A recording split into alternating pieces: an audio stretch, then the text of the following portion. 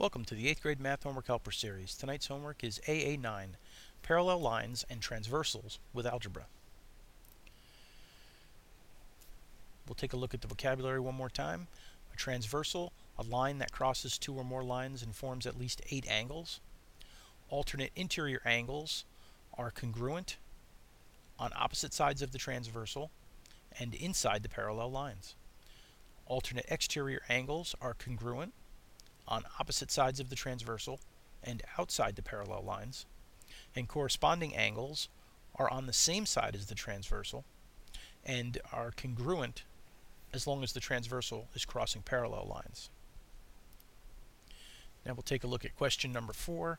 The directions state that in questions one through four, the figure below shows two parallel lines cut by a transversal. In each question, find the measure of all eight angles under the given conditions. So for number four, the conditions are that we have corresponding angles and that the measure of angle 3 is 2y minus 10 and the measure of angle 2 is y plus 60. And I highlighted which two we're focusing on for this question. And you may recognize immediately that these are vertical or opposite angles and therefore when we find the value of one we should know the other. Nonetheless I'm going to work both of these out though just so we can prove that. So the first thing we need to do though is solve for y. So if we take both of these equations and set them equal to each other, subtract 10 from both sides, subtract y from both sides, we get y equals 70. And then we can take 70 and substitute it back into each of these equations. So we'll solve for angle number 2 first. So we have y plus 60, which brings down 70 plus 60, which gets us to 130. So angle 2 is 130 degrees. Again, we know angle 3 should also be 130 degrees. If we do 2y minus 10, 2 times 70 minus 10, 140 minus 10 brings us to 130.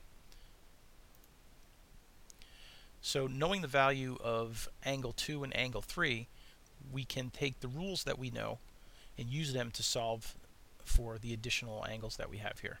We'll start with number 1. Angle number 1 is supplemental to angle number 3. Supplemental means together they equal 180. So that means that angle 3 has to be 50 degrees. 50 plus 130 equals 180. Now we're going to take a look at angle 4. Angle 4 is vertical to angle 1.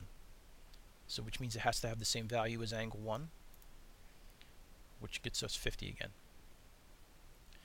If we look at angle 5 over here, Angle 5 is an alternate interior angle to angle number 4.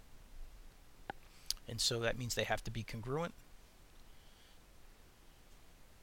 Angle number 6 is an alternate interior angle to angle number 3, which also means they have to be congruent. Angle 7 is a vertical angle to angle 6, which means they have to be congruent. And angle 8 is a vertical angle to angle number 5, which means they have to be congruent. And that method of solving these isn't the only way that you could have used. You know, you could determine 8 based on the fact that it's supplemental to 6. There's many different ways that you could have gone about it. So that's just one possible way of having found all the different values for these angles. Next, we'll take a look at question 6. Two parallel lines are cut by a transversal. The measure of two alternate interior angles are 6m plus 52 and 4m plus 5m minus 2. We need to find the measure of those two angles. So I did a diagram and I used the blue circles to highlight which two angles specifically we're focusing on with the in, um, alternate interior angles. So the first thing we need to do is solve for m by setting both of these equations equal to each other. And then we combine like terms. So we get 6m plus 52 equals 9m combining the 4 and the 5 minus 2 then we subtract 6m from both sides. That gets 52 equals 2m minus 3m minus 2 add 2 to both sides and we get 54 equals 3m divide by 3 we determine that m is equal to 18 we then substitute 18 into both of the equations for m. So with 4m plus 5m minus 2, we get 4 times 18 plus 5 times 18 minus 2. So we get 72 plus 90 minus 2. 72 plus 90 gives us 162 minus 2 gets 160. So one of the angles is 160 degrees. Now we know that alternate interior angles are congruent and so if this is 160 degrees the second one also has to be but again we'll solve it out. So we have 6m plus 52 6 times 18 gets us 108 plus 52 is 160 degrees.